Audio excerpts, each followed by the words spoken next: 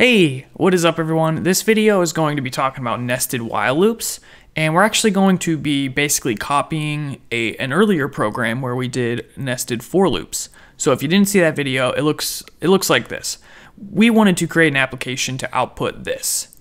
So it ultimately comes down to one loop to go from 0 to 10, and then another loop to go from that number down to 0. And this was the result we found.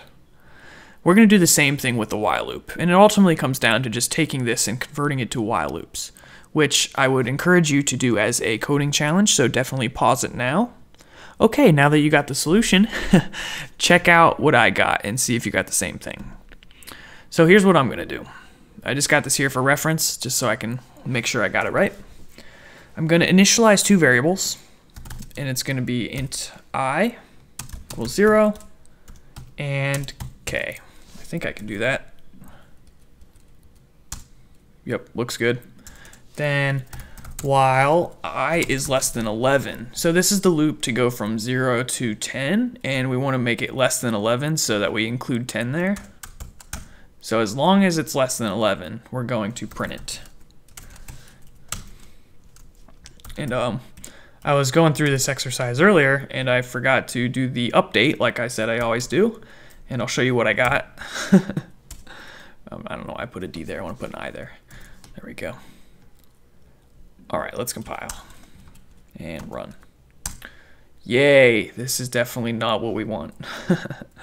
this is because I is eternally under 11 because we're not updating the value. So cancel that, and we need to do I++. Plus. Okay, the only other thing is that they're printing one after the other. So at the end of this, we want to print a new line. And we're putting it at the end because between here is where we're going to basically output the rest of the numbers. So we don't want it to be like 1 and then count down from 1 on the next line. We want it to be on the same line and then go down to the next line. So in here, we're just going to put a backslash n. Okay. All right, looks good. We got that. And then we're going to have a nested while loop right here and we're going to basically count down from whatever the i value is at that time down to zero. So k is going to be the thing to decrement down to zero. So we're going to say, uh, we're going to do that. Uh, let's say while k is greater than uh, 1, or not 1, while k is greater than or equal to 0, there we go, then we're going to say k minus minus, and we're going to print out k. We need to initialize it still, so don't let me forget that part.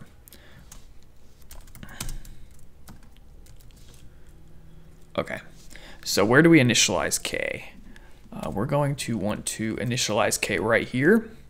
We don't want to initialize k right here because we're doing a comparison on k, which that's not going to work the way we it's we, we don't know what's going to happen in that scenario because we're, we're uh, comparing against a an uninitialized variable, which is definitely bad.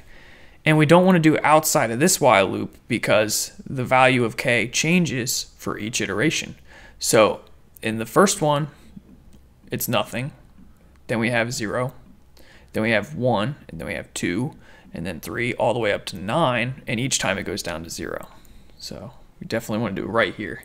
So we're going to say k is equal to i and uh, so we could actually probably want to do k, k equals i minus 1. So that way the first printing is 1 less than whatever this number is. So we count down. So it's probably all messed up, but let's give it a try. Okay, I got something messed up here. Gonna print k.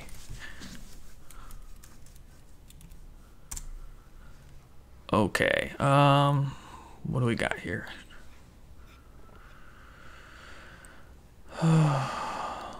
Oh, okay, see, this is it's harder to do with while loops. We got this increment here, which is changing the value of i before we assign it to k. So this k, this k should just go up at the top of the while loop. So much more confusing to read while loops, in my opinion. There we go.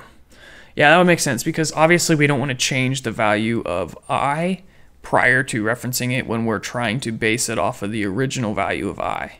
We could change everything to reference the, the new incremented value of i, but that just doesn't make as much sense in my brain. But everyone's different, so if you're if you think differently, well, you're probably wrong. I'm just kidding. Thank you guys for watching. Hopefully, um, hopefully this is the right output, and hopefully you guys understand everything with